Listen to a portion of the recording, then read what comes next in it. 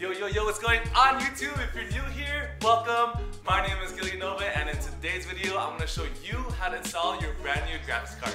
So let's go get this video started. So in today's video, I'm gonna show you how to install your 4070. Same goes with the 4080, 4090, or 4060, but before we get this video started, please hit the like button down below. Hit the subscribe button if you haven't already, and if you have any questions throughout this video, please leave a comment below. All right, let's get this video started.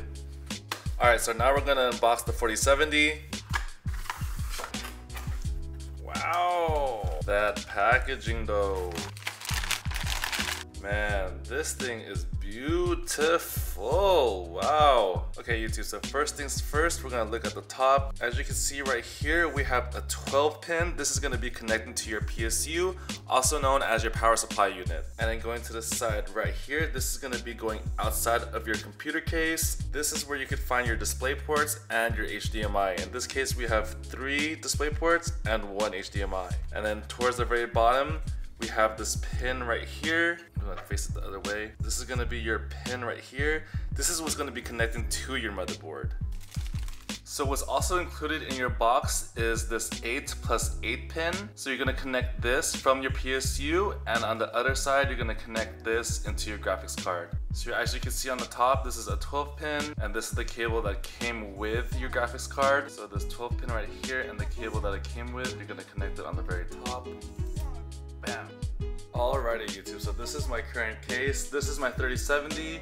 We are now going to remove our old graphics card. But before we do anything, touch something metal so it neutralizes yourself. Otherwise, your computer may not work. So first things first, we're going to remove our old graphics card. Okay, so I'm gonna do an example again. Push the latch down on the very top. There should only be one latch, and it should come up fairly easily like that. So just to recap, there should be a latch on the very top. If you're trying to remove it, push the latch down and then pull your graphics card. If you want to place your graphics card in, push your graphics card really hard and then you should hear a latch connecting to it. So now let's go try it with our 4070. Make sure that the pins are aligned to the motherboard. Once it's aligned, just push down until you hear a click. And as I mentioned earlier, your box should come with this 12 pin connecting to two 8 pins. Let's go connect that again. Very top, should be very easy. Once that's connected, connect your two 8 pins from your PSU to your graphics card. So in this case, this is how mine looks like. I'm just gonna connect them together, should be very easy. And for my case, I have a 6 plus 2 pin. You can easily connect this as well. You may also have an 8 pin also. It also doesn't matter which way you do it as long as it's connected. Alright YouTube, and there you have it. Now you have your PSU and your graphics card connected together. Just hide these cables, make sure it's not hitting any fans, and let's turn on our computer and download some drivers. Alright YouTube, so now that we have our computer turned on, we're gonna go to NVIDIA's website. We're gonna go to drivers, GeForce drivers, click on that.